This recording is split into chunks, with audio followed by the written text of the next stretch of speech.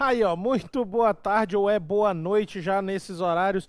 18 horas e 2 minutos e saiu há pouco mais de uns 40 minutos o concurso da Polícia Militar do Estado das Minas Gerais. Isso mesmo, a gloriosa das Minas Gerais, 2.900 vagas e nós vamos fazer agora o raio-x aqui para você, no estilo mais rústico que nós podemos fazer, direto no edital, tá certo? Direto no edital. Tá? Então, acompanha comigo aqui as informações e já vamos lá fazer o que precisamos fazer.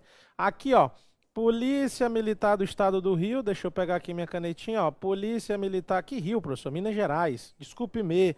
Polícia Militar do Estado das Minas Gerais, não é isso? A gloriosa de Minas Gerais. Tá ali bonitinho. Edital DRH 10 de 2023, concurso público para admissão ao curso de formação de soldados para o ano que vem, 2024.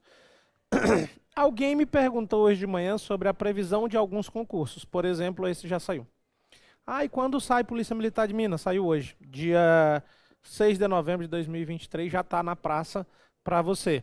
É sobre isso que a gente fala, por exemplo, de estar preparado. Não ficar perguntando quando o edital vai vir ou a previsão do edital, mas sim estar preparado para quando o edital sair, como este saiu agora now, tá certo?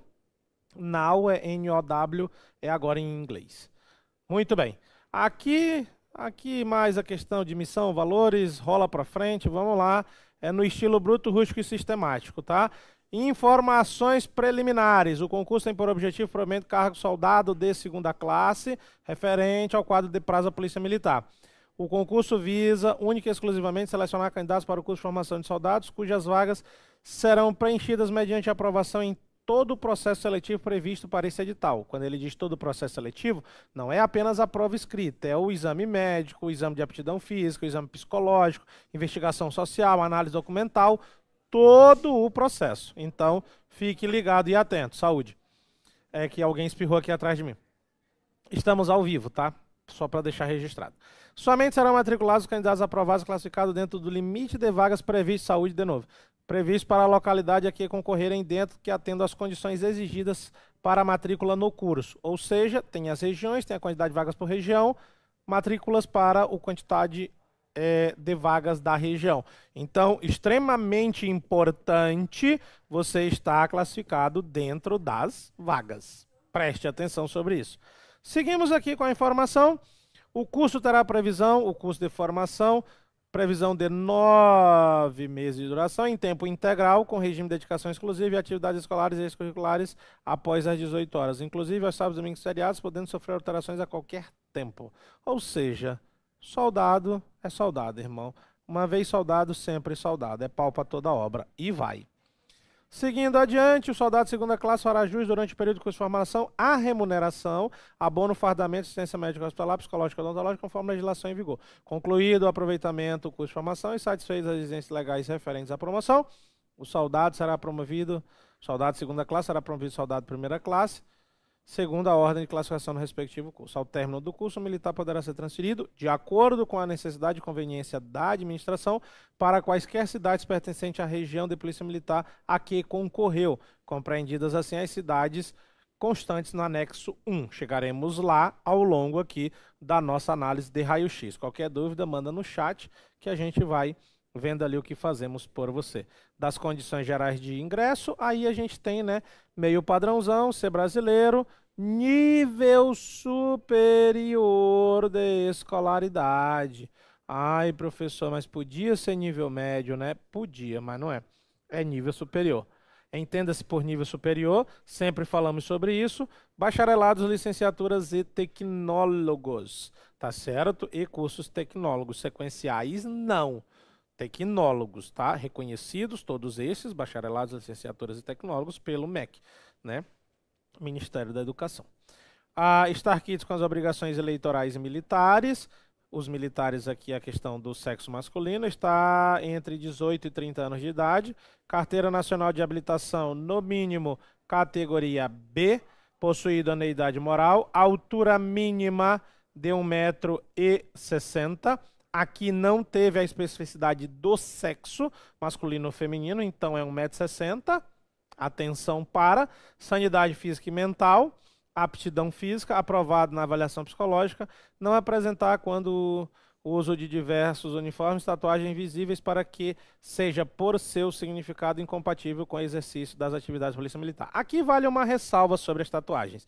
Ele não quer dizer que você não pode ter uma tatuagem na mão, você pode, porque via de regra, às vezes sua mão não vai estar coberta, salvo se você tiver de luva, mas como Minas Gerais não é um estado muito frio, você não vai estar usando luva. Então assim, você pode ter uma tatuagem na mão. O que ela não pode é, como ele diz aqui, que seja por seu significado incompatível com o exercício da atividade de policial militar.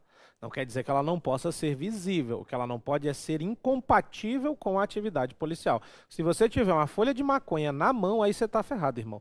Aí não tem o que fazer. Aí também é demais, tá? Mas se você tiver só a data do seu aniversário aqui na mão, não tem muitos dos seus problemas, não tá bom? Então fique tranquilo com relação às tatuagens. Professor, mas eu tenho a tatuagem no pescoço. Se ela não é incompatível com a atividade policial, não tem problema. Tá? Fique tranquilo com relação às suas tatuagens, elas não vão lhe impedir de você ser policial militar do estado das Minas Gerais. Seguindo lá, rola para frente, aqui a gente vai falar o que é. Não que o edital não seja importante, tu deve, tu deve ler todo, tá? Mas aqui marcamos o que é mais relevante e pertinente. Atribuições dos, dos cargos. Aqui a, a, descrição das atividades, não acho nem que vale a pena a gente se desgastar tanto. Vamos apenas falar de forma geral, né? Função geral, missão do cargo soldado polícia militar, executar atividade de policiamento ostensiva a fim de prevenir e reprimir a criminalidade, garantindo a ordem e a segurança pública e promovendo os direitos fundamentais para o alcance da paz social.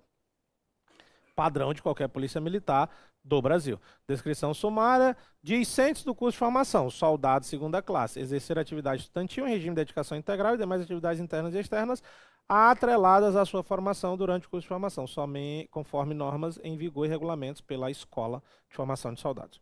Depois que virá soldado primeira classe, atividade operacional, atender a ocorrência, realizar abordagem de indivíduos e veículos em atitude suspeita, realizar policiamento ostensivo, realizar policiamento preventivo, realizar policiamento repressivo, efetuar prisões em flagrante, executar operações policiais, cumprir mandados judiciais, dentre outras. Ou seja, o teu fetiche está aqui. Tá? O teu fetiche de ser polícia está aqui, né? O tiro, porrada e bomba é isso aqui que tu tem que fazer, é o trabalho de rua. Tá certo? Alguém falou aqui que aceita sequencial, sim. Tudo bem. Se a Secretaria de Educação do Estado de Minas Gerais aceita o sequencial como superior, eu não vou entrar no mérito. Como é um concurso local, tá certo? Então, se o rapaz aqui, o, o Eldoni, disse que é, é, aceita o sequencial, Deus abençoe. Então, você que tem sequencial, só vai e faz acontecer também. Agradeça, inclusive, e tora o pau. Beleza? Ah, professor, vai abrir curso preparatório? A gente já tem, o curso está lá na plataforma. O curso está lá na plataforma.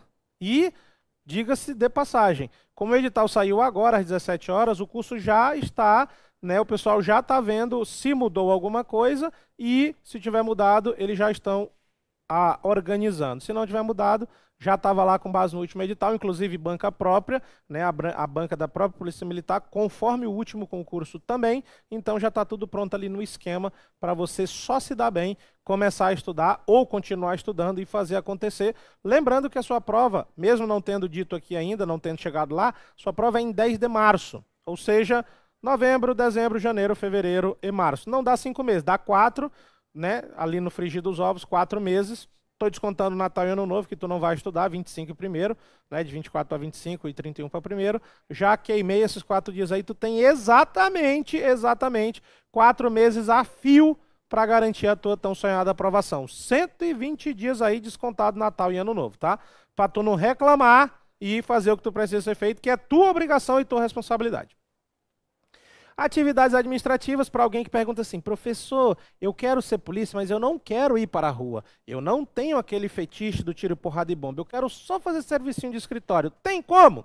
Tem. Está aqui, atividade administrativa, confeccionar relatórios, participar de solenidades cívico-militares, ministrar palestras ou treinamentos, participar de treinamento, entre outros. Você pode sim ser um policial ou uma policial e ficar na área administrativa. Inclusive, acho que você vai ser muito bem-vindo, porque geralmente, geralmente, geralmente, quem faz o concurso de polícia quer, é, é pelo fetiche de estar tá na rua, né, de estar tá correndo atrás de criminosos. E aqui, quem quer fazer a área administrativa vai ser muito bem-vindo e bem visto diga-se de passagem. Remuneração. Aí, agora começou a ficar bom, né? Queremos saber quanto ganhamos, professor. Quanto ganhamos? A remuneração base inicial para o soldado de segunda classe é atualmente de 4.300, ou seja, durante o curso, tu ganha 4.300 reais, rapaz. Olha que belezinha. Conforme previsão da lei delegada número 43, aqui não, não tem. Após a formatura, a carga horária semanal de trabalho será de 40 horas, tá certo? Então, depois de formado, soldado de segunda classe, virar soldado de primeira classe, passa-se a trabalhar por 40 horas. Como aluno, tu trabalha um milhão de horas, tá? Não tem descanso. Ah, mas não é justo. Tá, então não faz concurso. Aluno é aluno, filho. Não tem o que fazer. Depois de aluno, virado soldado de primeira classe, aí 40 horas por semana, tá? Seguindo adiante, serão fornecidas, desculpe, no Stories que eu gravei agora pelo Alfacom, eu falei 2906. Errei por 5, é 2901, tá? Me perdoem. Falei 2906. Errei por 5 vagas a mais, tá? Perdoem-me, mas é 2901 vagas. Distribuídas de que forma, professor? Tá aqui. Na região de BH, Belo Horizonte, 910 vagas masculinas e 101 vagas femininas. Na região de Juiz de Fora e Ubá, 242 vagas masculina e 27 feminina. Uberaba, 103 masculina, 13 feminino. Lavras, 77 masculino, 9 feminino. Divinópolis e Bom Despacho, 277 masculino, 25 feminino. Governador Valadares, 27 masculino, 3 feminino. Uberlândia, 132 masculino, 15 feminino. Patos de Minas, 38 masculino, 4 feminino. Montes Claros, 22 masculino, 3 femininos. Ipatinga, 256 masculinos, 29 femininos. Curvelo, 68 masculino, 8 feminino. Teófilo Antônio, 112 masculinos, 13 femininos. Pouso Alegre Extrema, fazendo divisa ali com São Paulo, na região da rodovia Fernão Dias, tá certo? 187 é, masculinos e 21 femininos. Aqui nessa região de Pouso Alegre Extrema tem uma cidade muito boa ali, né, que o pessoal vai é, passar geralmente nos meses de julho ali, que é Monte Verde, uma região ótima ali para você, né, dar uma sapiada ali e tirar uma férias. Aí em Poços de Caldas, 157 masculino, 18 feminino e 7 Lagoas, 40 masculino e 4 feminino, totalizando 2.611 vagas masculinas e 290 vagas femininas. Tá certo? Nas, nas regiões desculpe-me, em que há previsão de realização de curso em mais de um município, a escola, a escolha pelo local de matrícula no curso dar-se-á de acordo com a opção dos candidatos. Aí bem de praxe. Ah, o candidato concorrerá apenas às vagas destinadas à sua região. Preste atenção no item 5.3.1 só vai concorrer às vagas da sua região, o que deverá ser manifestado no ato da inscrição. Você se inscreveu, por exemplo, vamos, vamos explicar isso aqui. Imagine que você se inscreveu para a 14ª região, que é a região de Curvelo. Tem 68 vagas masculinas e 8 femininas. Aí você fez nota, e aqui é onde você tem que estar atento para, inclusive, escolher direito a região que você quer concorrer. Aí, às vezes, a sua nota você não passou em Curvelo, mas você passaria em outra região.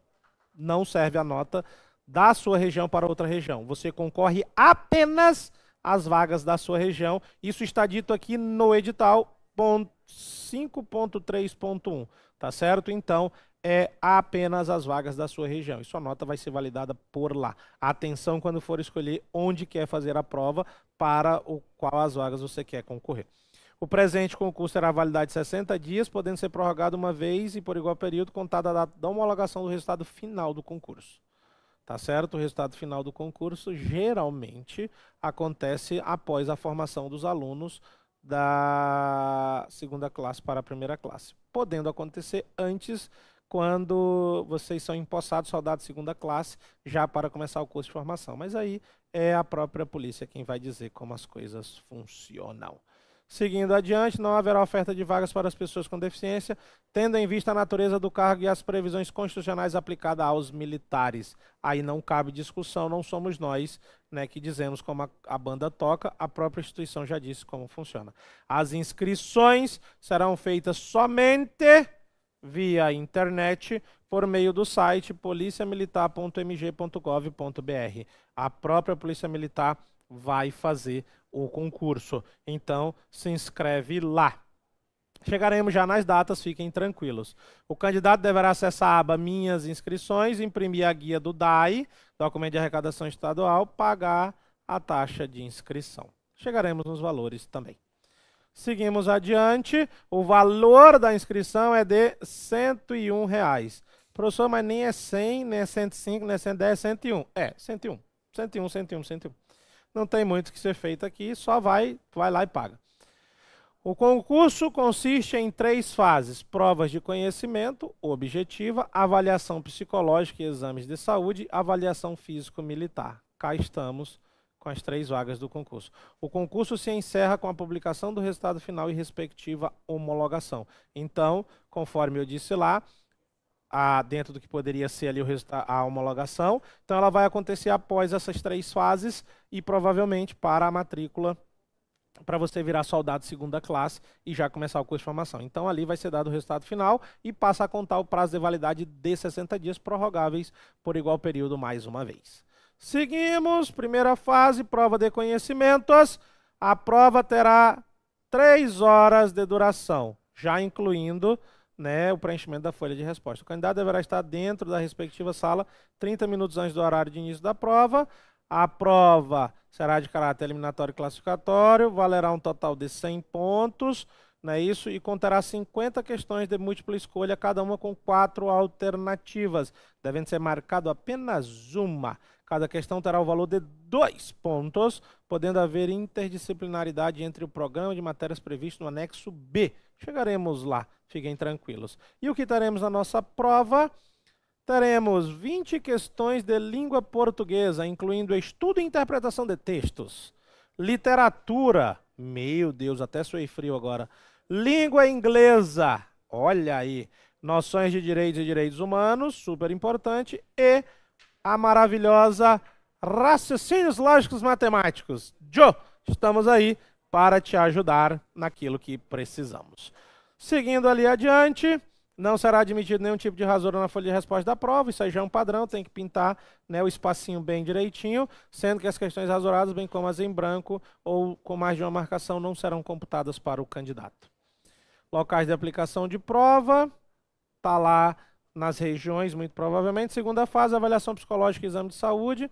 As avaliações psicológicas de caráter apenas eliminatório, não mais classificatório, poderão ser realizadas em Belo Horizonte ou em cidades da região metropolitana por clínicas psicológicas credenciadas e supervisionadas pela própria Polícia Militar, as quais serão divulgadas aos candidatos no ato da convocação para a realização das avaliações. Bem querido, bem de boa. As ava... Olha isso aqui, gente do céu. As avaliações psicológicas serão custeadas pelo candidato. Ah, professor, mas isso não é justo, então não faço concurso. É a regra do jogo, irmão. Eu não estou aqui para discutir o edital, eu estou te passando o que está no edital. É você quem paga pela sua avaliação psicológica. É o edital que disse, não fui eu. Ah, mas isso não é correto. Tá bom, eu também acho, mas não vou brigar com isso. Também acho que deveria ser o Estado que deveria pagar mais. Quem sou eu na fila do pão para achar qualquer coisa frente à Polícia Militar de Minas Gerais? Eles que mandam. E a gente segue. Seguindo adelante, ali fala os critérios de inaptidão, exames de saúde. Olha lá, o exame de saúde compreende exames preliminares, exames complementares, exame toxicológico, conforme detalhado neste edital. Atenção, tem exames toxicológicos. Fiquem ligados. Exames preliminares, exame clínico, otorrinolaringológico, com audiometria, tonal e vocal, oftalmológico, odontológico, entre outros, a critério do examinador.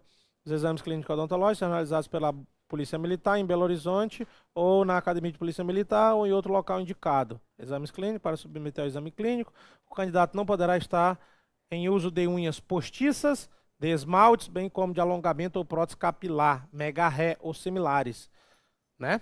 O candidato deverá apresentar a carteira de vacinação atualizada no dia da realização dos exames clínicos, demonstrando pelo menos o início do ciclo de cada esquema vacinal.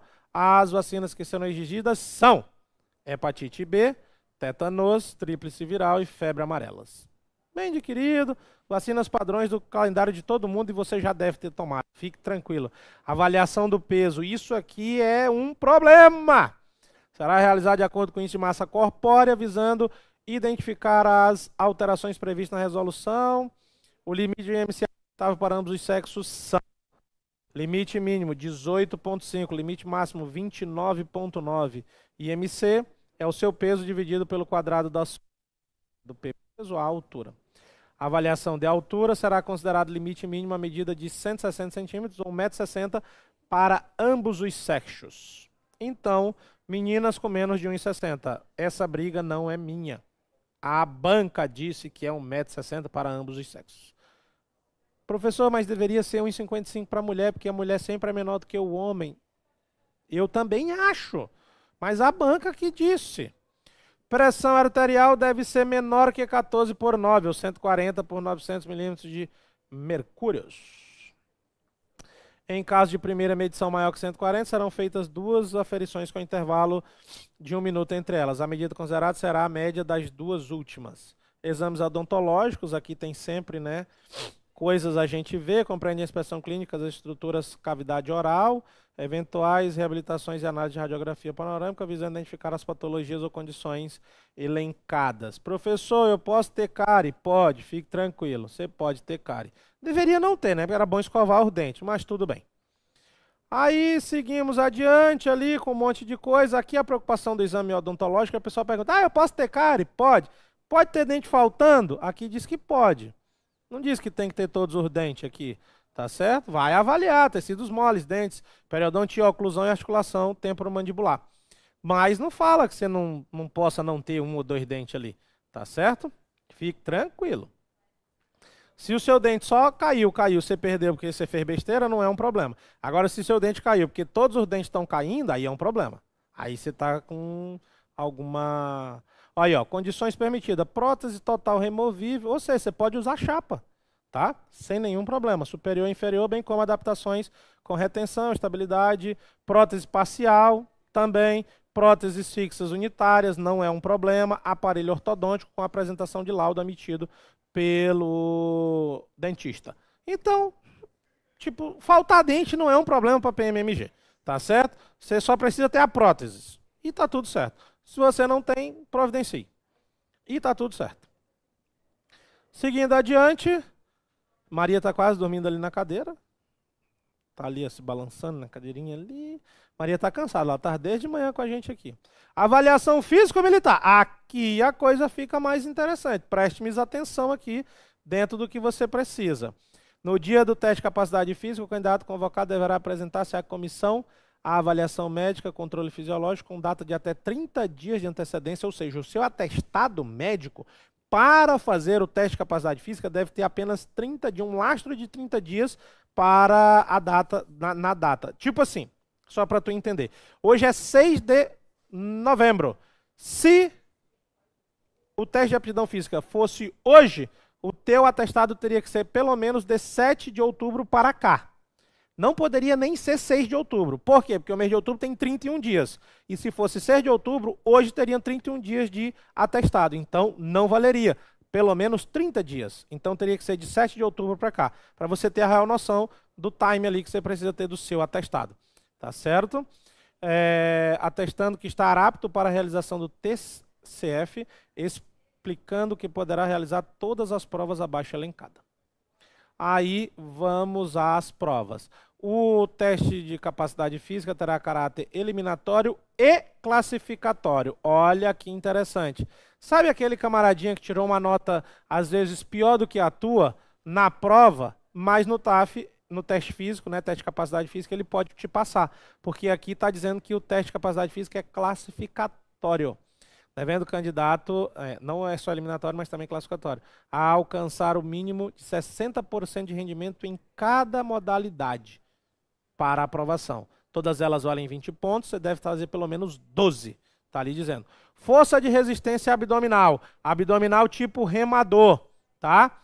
Você faz, você faz tanto, ó, aqui muito importante, a Polícia Militar de Minas não está fazendo distinção de sexo. Ela está considerando tudo do mesmo jeito. Ela está fazendo, né, princípio da isonomia. Então, se você fizer 30 abdominais tipo remador, você faz 20 pontos. Cara, dá para fazer. Em um minutinho? Não, professor. Não, não, não, não. Até, please. Não é em um minuto, é em 30 segundos. 30, dois tracinhos, é 30 segundos. Então, em 30 segundos, você se fizer 30 abdominais, leva 20 pontos. Pesado, agora ficou pesado. É fazer uma por segundo, tem que ser rápido, né? É complicado, mas é o padrão. Mais, mais, mais, mais. O limite dos 60% dá-se com 15 repetições. Não tá ruim. É uma por cada dois segundos. Tá bom. Força de resistências nos braços barra fixa. Agora aqui ele fez distinção de masculino e feminino. O masculino tem que fazer a barra, tem que desenvolver o movimento. As mulheres têm que ficar paradas, né? lá com o queixo em cima da barra, para cima, sem triscar na barra. Todos os homens que fizerem 10 repetições levam seus 20 pontos. Todas as mulheres que ficarem mais de 38 segundos levam seus 20 pontos. Na média, o cara tem que fazer pelo menos duas barras e as meninas têm que ficar pelo menos de 6 a 10 segundos ali penduradas. Beleza? Resistência cardiorrespiratórias. Corrida de 2.400 metros. São seis voltas na pista olímpicas. Tá certa? O homem que fizer até 9 minutos leva 20 pontos. A mulher que fizer até 11 também leva 20 pontos. Já se o cara fizer isso em até 13 minutos, ele leva 12 pontos. E a mulher em até 15 leva 12 pontos. Ou seja, dá para fazer. Dá para fazer. Eu sou gordo e estou falando que dá, é porque dá. Tá certo? Estou falando com propriedade. Tem um local de fala aqui. Dá para fazer. Tá? Em 13 minutos, você, homem, dá para fazer. E levar seus 12 pontos. A pontuação obtida pelo candidato corresponderá ao somatório de sua nota, cujo valor máximo será de 60. O candidato que não atingiu o índice mínimo de 12 pontos em qualquer uma das provas será considerado reprovado e automaticamente eliminado do concurso. Ou seja, você tem que fazer o mínimo. O mínimo do mínimo do mínimo. Tá certo? e lá estavam os índices. Seguindo adiante, aprovação e classificação. A aprovação no concurso condicionar-se-á. Aproveitamento mínimo de 60% dos pontos atribuídos à prova objetiva. Ou seja, se ela vale 100, tu tem que fazer 60. Se tem 50 questões valendo 2 pontos, tu tem que responder pelo menos 30. Responder não, acertar pelo menos 30, tá? Não disse aqui por matéria, então é da prova como um todo. Aproveite, isso é muito bom. Ser considerado apto na avaliação psicológica, apto no exame de saúde, aproveitamento mínimo de 60% nos testes de condicionamentos físicos e classificado dentro do limite de vagas previstos para o curso, conforme sexo e região. Dentro do limite de vagas. Ponto. Seguindo adelante, matrícula e ingresso na instituição. Aqui a gente vai, tu tem que ler o edital também, né? Eu não vou ler ele todo para ti aqui. Seria demais. Recursos também não é o caso de. Sigamos para as próximas situações. Alguém perguntou aqui sobre o sequencial. Eu, como falei, quando são concursos de âmbito federal, os cursos superiores são bacharelados, licenciaturas e tecnólogos. Em âmbitos estaduais, e aí eu não sei como é no âmbito do estado de Minas Gerais, tem estados que consideram o curso sequencial superior. Aí vocês vão ter que dar uma pormenorizada aqui no edital. O edital fala curso superior, ele não diz as modalidades, tá? Então vocês vão ter que dar uma pormenorizada aqui no edital ou buscar junto à própria Polícia Militar do estado das Minas Gerais para saber sobre essa situação do sequencial. Eu, eu sei que tem estados que consideram o sequencial como superior. Não sei a situação de Minas, então não posso falar porque eu não tenho esse conhecimento. Tá? Mas se a Secretaria de Educação de Minas considera o sequencial como superior e a Polícia Militar vai aceitar, corre para um abraço e Deus abençoe. Seguindo lá, seguindo lá, seguindo lá. Meu Deus, que edital grande, Jesus amado. Professor, onde o senhor vai ler? Onde tiver grifado. Disposições finais. Aí aqui é muitas disposições finais. A Maria até tirou da tela, porque estou só rolando a tela, né? Para cima e para baixo. Vai, vai, vai, vai, vai, vai. Aqui. Chegou, Marys. Período da inscrição. Meu Deus do céu. É muito tempo. Inclusive, preste atenção, as inscrições só começam em janeiro. Daqui até lá você pode esquecer. Mas nós do Alfacor não deixaremos você esquecer. Dia 8 de janeiro publicaremos lá, abertas as inscrições para a Polícia Militar do Estado de Minas Gerais. E no dia 6 a gente avisa que é o último dia para fazer a inscrição, 6 de fevereiro. Tá aqui, ó. De 8 de janeiro a 6 de fevereiro de 2024. Solicitação de isenção de inscrição, de 8 de janeiro a 9 de janeiro. Então, nos primeiros dois dias é que você solicita a isenção. Data limite para o pagamento, né? da inscrição, dia 7 de fevereiro. Se o último dia da inscrição é dia 6, você pode pagar até o dia 7. Divulgação das inscrições deferidas para isenção de taxa dia 23 de janeiro. E aqui a aplicação da prova. Dia 1 de março, avisa-se onde é o seu local de prova. E dia 10 de março de 2024, você tem a prova. Às 7 horas, abre os portões. Às 7h50, fecha os portões. Às 8 horas, chama os candidatos em sala. Às 8h30 começa a prova, 11h30 acaba a prova. Tá lá. Que bonito. Dia 11 de março sai o gabarito da prova. Dia 12 de abril sai o resultado da primeira fase de convocação para a segunda fase. Deus abençoe. Seguimos. Língua portuguesa, interpretação de texto. Cá estamos com os assuntos. Não vou entrar no mérito, não sei. Não sou bom de português, mal mal sei falar. Literatura, aqui tem os dois livros. Caralho! Esse livro, Vidas Secas, é bom. De Graciliano Ramos. E Campos Gerais, João Guimarães Rosa, deve ser bom também. Se a banca mandou, é porque deve ser bom. Noções de língua inglesa, compreensão de texto e itens gramaticais. Vai. Direitos. Constituição da República Federativa do Brasil, direito constitucional. Lei número 4057 de 4 de setembro de 42, lei de introdução às normas do direito brasileiro. Deve estar dentro do direito constitucional. Declaração dos Direitos Humanos, Direitos Humanos. Convenção Americana de Direitos Humanos, Direitos Humanos. Ou seja, é constitucional Direitos Humanos. E aqui essa lei dos direitos, norma do direito brasileiro. Pesquisa, o nome da, o número da lei está aqui. Não sou bom do direito também não. Agora a lógica eu manjo. Análise e interpretação de figuras planas, geometria. Conceitos de aplicação básica de estatística. Suave. Média, mediana, moda, variância de desvio padrão e porcentagem. Estruturas de diagramas lógicos, aí aqui é proposição, argumentos, e a parte de lógica psicotécnica, áreas e volumes, a geometria de novo, equações de primeiro e segundo grau, suave, análise combinatória e probabilidade, noções básicas de contagem, análise combinatória e probabilidade, e funções, afim, quadrática, exponencial e logarítmica. Operações com conjunto, agradeça, sequências numéricas, progressões aritméticas geométricas, ou seja, sequências numéricas lógicas, não necessariamente PA e PG, além de PA e PG. E aqui, Razão, proporção, regra de 3. Uma delícia. Tá bom para 10 questões.